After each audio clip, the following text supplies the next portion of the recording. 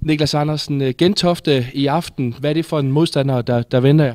Jamen, der er ikke nogen tvivl om, at det er en rigtig god modstander. Vi har spillet finale mod dem sidste år, så vi skal bare være klar fra start. Jeg vækker det nogle minder at, tænke tilbage fra otte måneder siden, hvor I spillede de her drablige DM-finaler mod dem.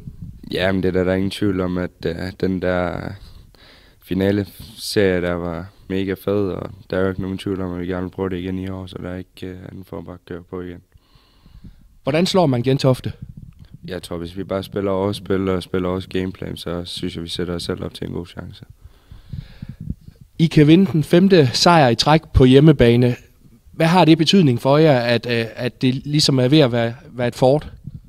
Jamen, der er ingen tvivl om, at vi har vundet det de sidste par kampe, og det er dejligt at ligesom finde ud af, at man faktisk godt kan vinde nogle kampe, så det ikke hele tiden er tab og vinde hele tiden. Men ja, jeg synes, hvis vi kunne vinde i dag, og så lige have en lille pause til på fredag, så ville det være dejligt.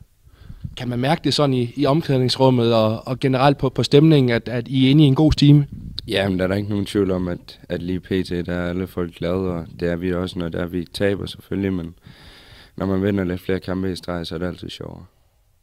Et gentofte hold med mange af de samme profiler som, som sidste sæson. Gør det nemmere for jer at, at forberede sig mod sådan en modstander? Ja, altså, det ved jeg ikke. Det er svært at sige, fordi de kan altid finde nogle nye spilsystemer og så videre, men ja, altså, ja, vi tager det, som det kommer. Og du har en god mavefornemmelse inden kampen i aften? Selvfølgelig har jeg det.